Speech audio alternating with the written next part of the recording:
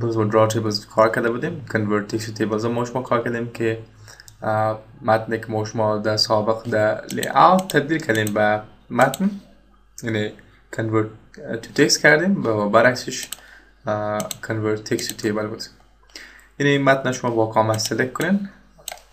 کم می‌خوایم کار کنم number name age. می‌خوام به تیبل کنورتش کنم. بینشون comma است طبعا.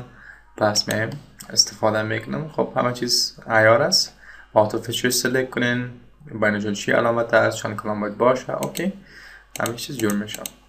خب میایم بعد از قسمت convert to text. می‌رسیم به Excel spreadsheet چون شما فرمول بالاتر می‌خواین practice کنین Excel spreadsheet براتون خیلی خوبتره است. و چون functionality در قسمت function و فرمولا در Excel خیلی خوب تر است. یعنی کارهای مغلق شما جمعوری کنین بیاین در قسمت MS Word جمع کنین یا چاپش کنین بخیر.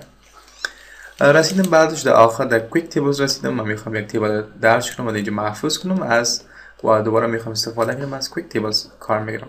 یعنی مجموعه از table هایی است که اینجا محفوظ است. فقط انتخابش می‌کنم تا استفاده کرده بتونم. خب آجر که می‌خوام یک اسلام پیشنهاد بسازم. وزارت کار. امور اجتماعی شالا مدودین ریاست عمومی شاف مدیریت داری و در قسمت میانده انزرت چون می‌خوام احکام یا پیشنهادی باشه پس اینجوشتر می‌کنم تاریخ پیشنهاد احکام ایده کم کوچک می‌کنم و این هر دو قسمت ایده کوچک کنم. از این هر دو می‌خوام مساوی باشن. اینم سلکت کنم که امروز یک جای مساوی شون پس دیستریبیوت کالم ایونت لیره سلکت کنم. و کم پوینت کش می‌کنیم یعنی چند این طرف شاب دیگه میشه کم پایین‌تر ایرم کش کنم. Align Center ی رو بگیرم. می‌کنم که هوم رو bold ش کنم.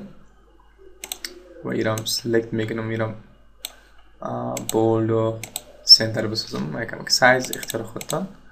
bold ایرم پایین تر کش می‌کنم اختیار خودت چی؟ مقدار نیاز است. انتخابش کنم خب حال Control A می‌خوام محفوظ کنم. پس در Insert میم Tables Quick Tables میم در Save Selection و اسمش می‌گذارم. پیشنهاد.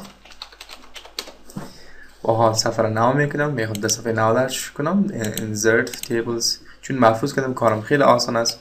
scroll می‌کنم در پایین و پیشنهاد است احکام است حاضری است که همین رو اول شما بسازین و فقط انتخابش کنید که روی اسناد ایره درج کرده و استفاده کرده بتانید خب ای بود مورد تیبلز